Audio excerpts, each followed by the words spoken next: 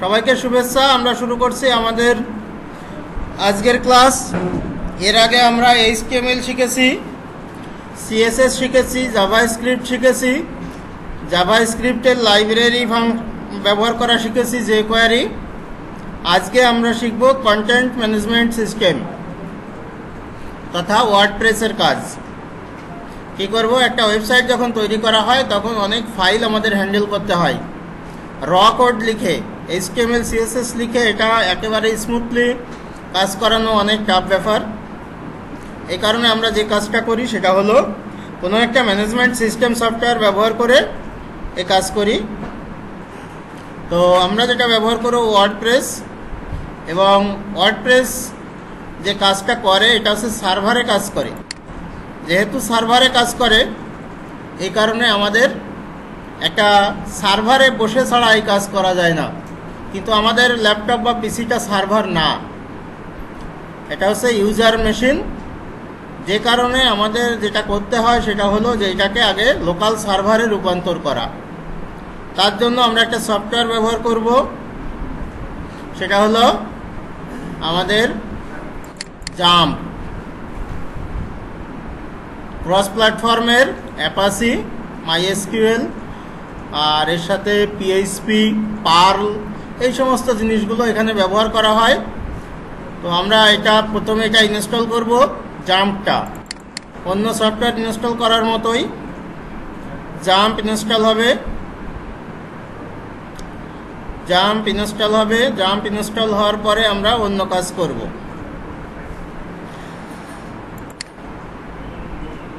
Next করে করে আমরা যা আছে থাকুক, আমাদের কোনো সমস্যা নেই।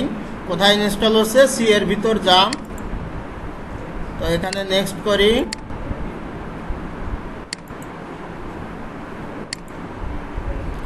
এখন জাম্প ইনস্টল হবে। তো জাম্প ইনস্টল হতে হতে আরও দু একটা কথা বলি, সেটা হলো আমাদের এই যে মামাজি স্কাইপ ইনি খুবই একজন ভেজাল মার্কা মানুষ। ভেজাল মার্কা মানুষ মানে হলো এই যে অ্যাপাসি সার্ভার বলছি জাম্পের এতে যে অ্যাপাসি সার্ভার এই অ্যাপাসি সার্ভার ব্যবহার করে হলো আশি নম্বর পোর্ট। এবং এই স্কাইপ এবং উইন্ডোজের আরও কিছু ইয়ে আছে, যারা এই আশি নম্বর পোর্ট ব্যবহার করে। সুতরাং প্রথম কাজ হচ্ছে এটাকে ফেলে দেওয়া। যখন আমি সার্ভারে কাজ করব, তখন প্রথম কাজ হচ্ছে এটাকে আমার ফেলে দেওয়া। তো মাঝে মাঝে আনইনস্টলও হতে চায় না, মাঝে মাঝে এটা বন্ধও হতে চায় না, ঝামেলা করে কোনো কোনো মেশিনে। তো আমাদের সেই দিকে খেয়াল রাখতে হবে যে আমাদের এইটাকে অবশ্যই ফেলে দিতে হবে। স্কাইপ এর কারণ হচ্ছে যে এরা সব একটা পোর্ট নাম্বার আছে। যে পোর্টে কাজ করে। স্কাইপও আশি পোর্টে কাজ করে ভয়েস পাঠানোর জন্য এবং অ্যাপাসি সার্ভারও আশি পোর্টে কাজ করে। দুইজনের ক্রস হয়ে যায় এবং এ দখল করে থাকে বলে। এ দখল করে থাকে বলে আর অ্যাপাসি সার্ভার কাজ করে না। আমরা আগেই ফেলে দিয়েছি, না ফেলে দিলে দেখতে পারতাম, যাই হোক। হ্যাঁ ওর চালু না থাকলেই হলো, সার্ভিসটা বন্ধ রাখলেই হলো। সার্ভিসটা বন্ধ রাখলেই হলো, তাহলেই হবে। আশি নম্বর পোর্ট ব্যবহার করে। দেখবা, উইন্ডোজের ভিতর সার্ভিসেস নামে একটা ইয়ে আছে। ওখানে গেলে, ওখানে কে কোন পোর্ট ব্যবহার করে দেখা যায়।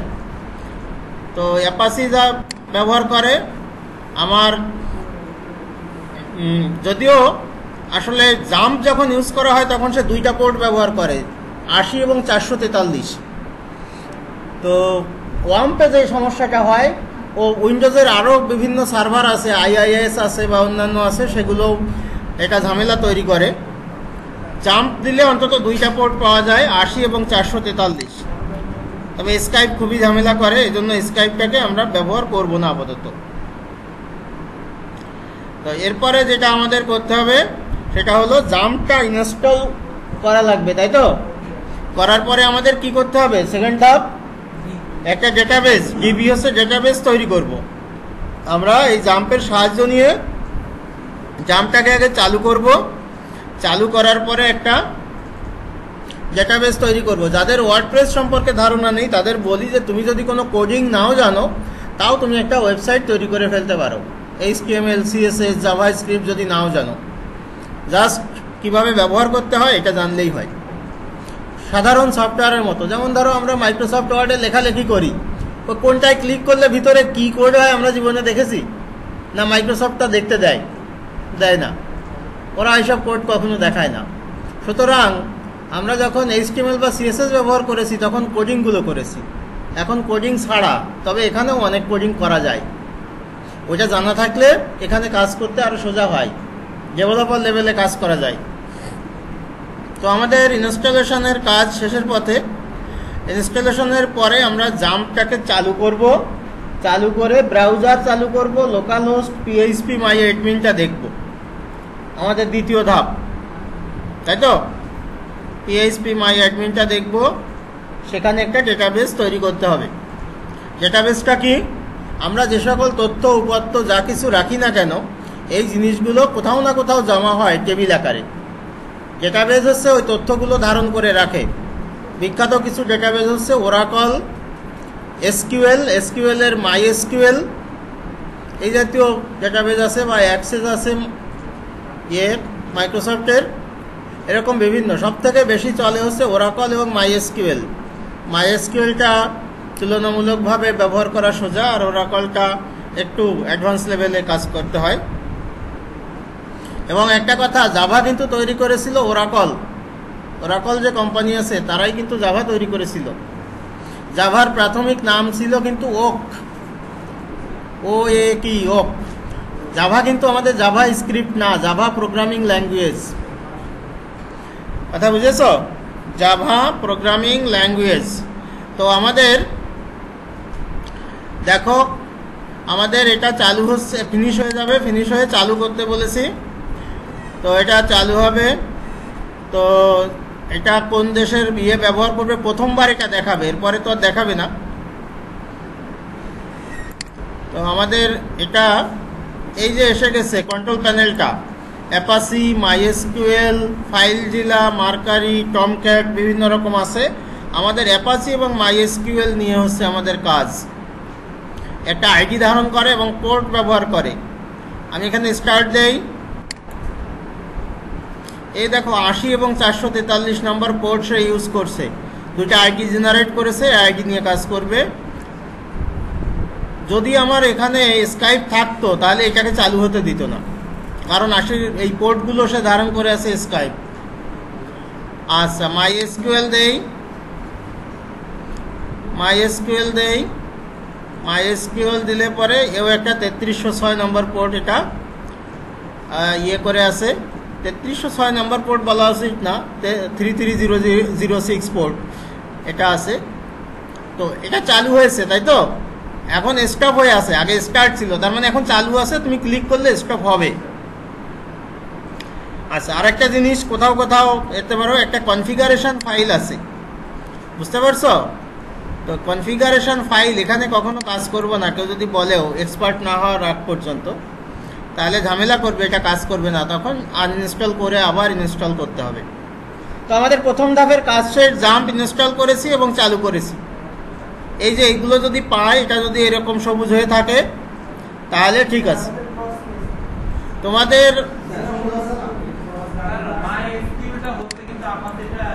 অ্যাপাসিটা নিচ্ছে না, আমি তো বলেছি যে এই যে এইচপি থিন ক্লায়েন্টের সমস্যা আছে। সুতরাং যাদের ইয়ে আমাদের যে ডেস্কটপগুলো ব্যবহার করছ, এটাই কাজ করতে পারিনি কালকে। এবং আমি ওখানে আলাদা করে দেখতেও সময় পাইনি যে আসলে কি কারণে ও কাজ করে না। এই মেশিনে আমি কখনো ব্যবহার করিনি। সুতরাং ওর স্ট্রাকচার জানতে হবে যে আসলে কোনটা ধরে রাখছে। ওই পোর্টগুলো ধরে রাখছে অ্যাপাসিকে চালু করতে। উইন্ডোজে ঝামেলা করছে। তো হ্যাঁ?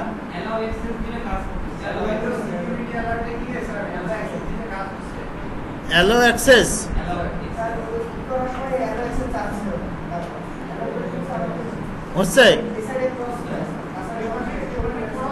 না, এটাতে ক্রসের সমস্যা নেই। এটা চালু হয়েছে কিনা পোর্ট পেয়েছে কিনা?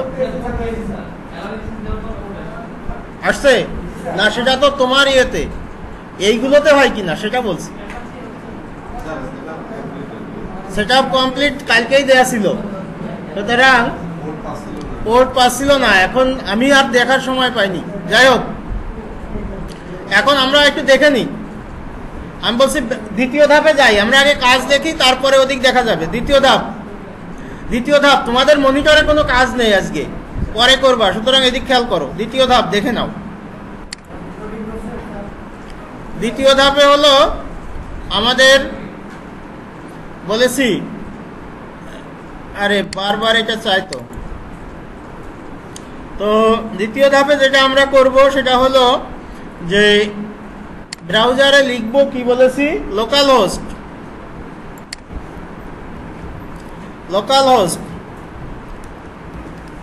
লোকাল হোস্ট আগে লিখে দেখব যে আসলেই চালু হয়েছে কিনা।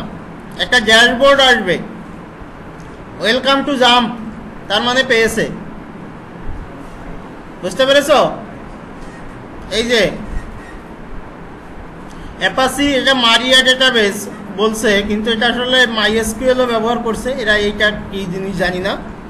পিএইচপি এবং পার্ল ব্যবহার করছে। এবং এখানে দেখো, এই যে মেনু আছে মেনুর শেষে একটা আছে পিএইচপি মাই অ্যাডমিন পেয়েছ? পিএইচপি মাই অ্যাডমিন তো পিএইচপি মাই অ্যাডমিন এখানে ক্লিক করতে পারো, অথবা ওখানে লোকাল হোস্টের সাথে একবারে লিখতেও পারো। ওই যে আমি লিখে দিয়েছিলাম না লোকাল হোস্ট স্ল্যাশ পিএইচপি মাই অ্যাডমিন ক্লিক করি। দেখো, একটু খেয়াল করো।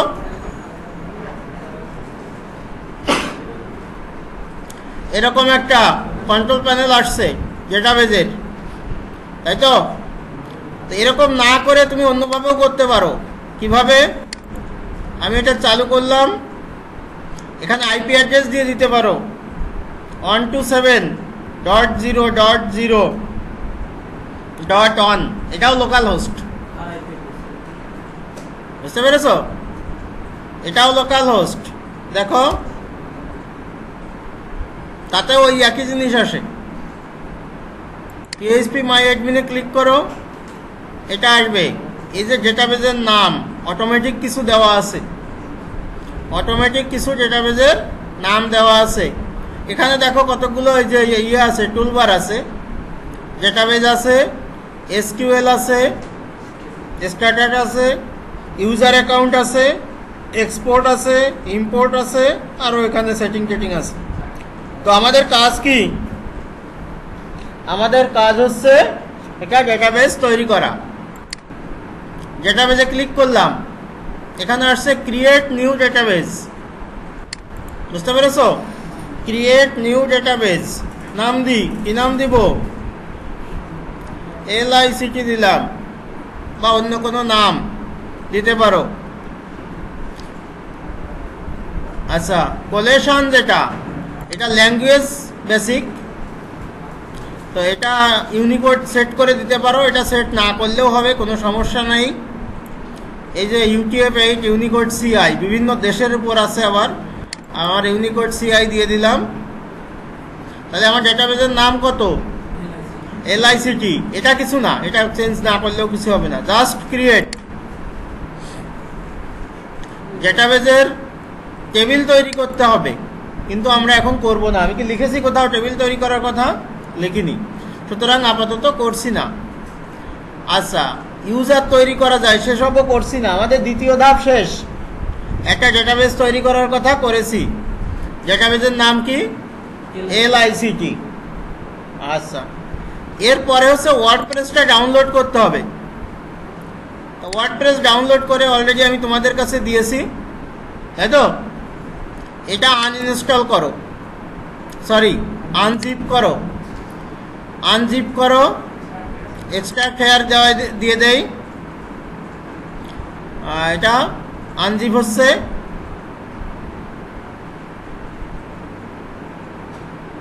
এই যে ওয়ার্ড প্রেসটা হয়েছে। এর ভিতরে দেখো অনেক ফাইল আছে। দেখেছ? অনেক ফাইল আছে না? সব পিএইচপি আমরা কি পিএইচপি শিখেছি? শিখিনি। তারপরেও এটা ব্যবহার করতে পারব। কন্টেন্ট ম্যানেজমেন্ট সিস্টেম পুরাটা কপি করে নিয়ে গেলাম। কন্ট্রোল সি দিলাম। কন্ট্রোল এ দিয়ে কন্ট্রোল সি এটা কপি করে নিব। আমরা আসি কোথায়? চার নম্বরে। ডাউনলোড তো করেই দিয়েছি, সুতরাং ওটার কোনো কাজ নেই। সি ড্রাইভে যাব। সি এর ভিতর বলেছি জাম্প নামে একটা ফোল্ডার আছে। সি জাম্প আছে না? গেলাম। এর ভিতর এইচটি ডক্স আছে। আছে? হাইপার টেক্সট ডকুমেন্টস এটাই হচ্ছে আমাদের লোকাল হোস্ট লোকাল হোস্ট লিখলে আসলে এখানে যায়। এই যে এগুলো আছে। বুঝেছ? এখানে একটা ফোল্ডার তৈরি করে নেওয়া বেটার ফোল্ডার তৈরি করে নিই। কি নাম লিখব? কেজিসি লিখব? লিখি।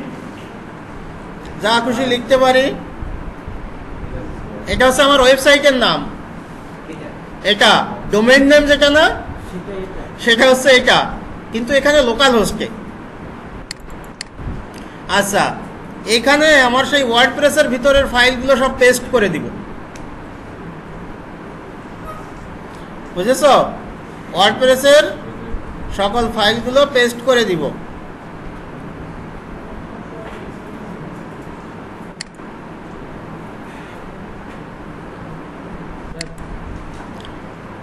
ফাইলগুলো সব এখানে কপি হচ্ছে, আরে আটকে গেলি কেন?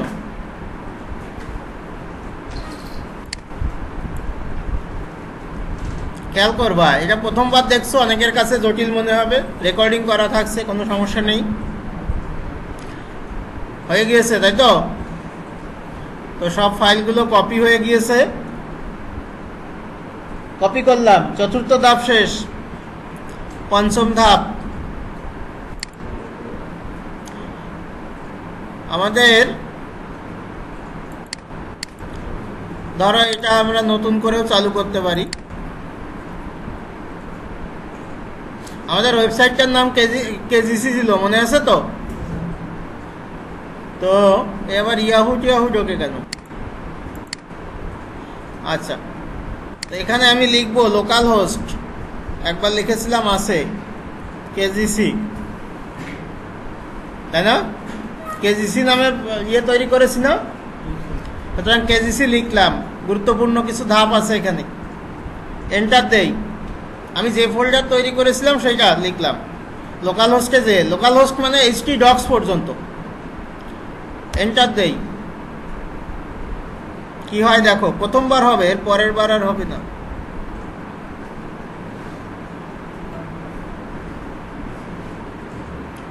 সময় নিচ্ছে। এটা হচ্ছে ওয়ার্ডপ্রেসের লোগো ওয়ার্ডপ্রেস ইনস্টল হবে এখন, সেই পর্যায়ে আছি। কি কি রেডি করতে বলেছে? দেখো ডেটাবেজ নেম জানি আমরা? L ICT database user name এটা তুমি জানো না? রুট আপাতত হচ্ছে রুট আমরা কোনো ইউজার তৈরি করিনি, সুতরাং এটার নাম হবে রুট সবসময় রুট হ্যাঁ চেঞ্জ করলে বহু ঝামেলা, আমরা চেঞ্জের ভিতর যাচ্ছি না।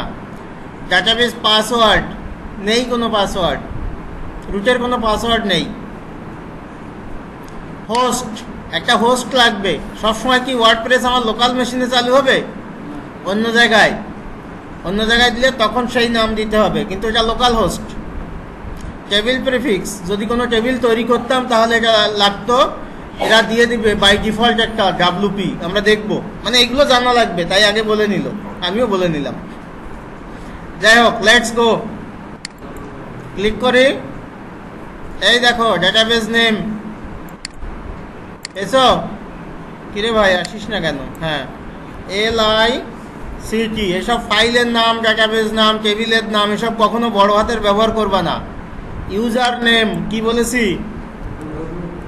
রুট পাসওয়ার্ড নাই নাই ডেটাবেস হোস্ট লোকাল হোস্ট ঠিক আছে? Table prefix WP underscore ডাব্লুপিতে হয় ওয়ার্ড প্রেস এরকমই থাকুক। ডিফল্ট চেঞ্জ করতে যাব না। আমি কিন্তু প্রথম দিন থেকে বলে আসছি। যখন চেঞ্জ করার শখ জাগবে, তখন হচ্ছে এক্সপার্ট হওয়ার পরে। এক্সপার্ট হওয়ার আগে না। তো সাবমিট রান দা ইনস্টল কোন ইনস্টল? এটা হচ্ছে ওয়ার্ড প্রেস ইনস্টল। আমার সার্ভারে এখন ওয়ার্ড প্রেস ইনস্টল হচ্ছে।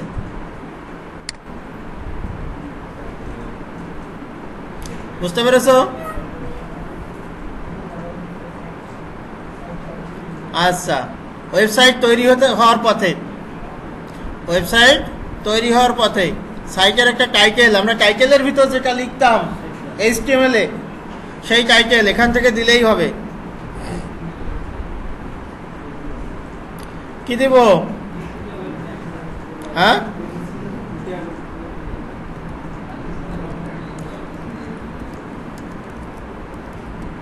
Kushtia government college user name এ কিন্তু কনফিউশন তৈরি হবে, অনেকগুলো একবারে শুনছো তো? এর আগে ইউজার নেম হচ্ছে ডেটাবেজ একটা ছিল। আর এখন হচ্ছে তোমার ওয়েবসাইটকে যখন মেনটেন করবা, তখন ওয়ার্ড প্রেসে ঢুকতে হবে, তখন একটা ইউজার নেম লাগবে। এটা নতুন করে দিতে হবে। সমীর লিখলাম।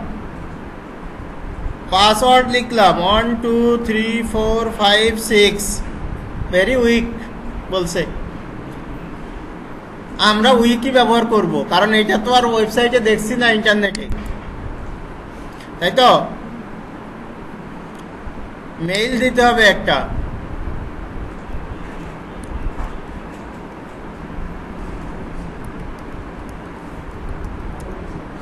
একটা মেইল অ্যাড্রেস দিতে হবে। হ্যাঁ? আরে ভ্যালিড ইনভ্যালিড একটা দিতে থাকো। স্ট্রাকচার ঠিক থাকে যেন। হ্যাঁ তোমরা তোমাদেরটাই ব্যবহার করো। আচ্ছা।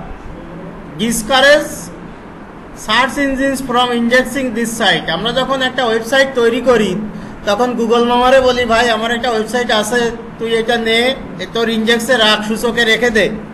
ও তখন রাখার পরে সার্চ করে পায়, তার আগে কিন্তু পায় না।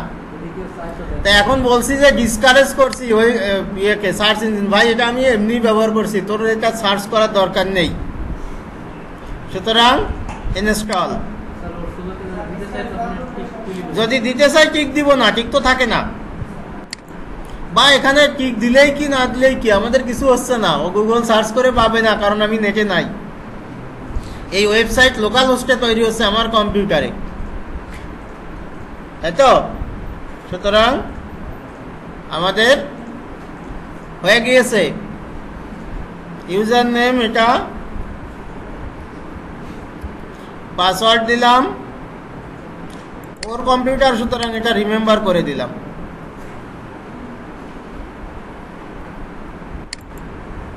One two three four five six সমস্যা নেই। আমার ওয়েবসাইট রেডি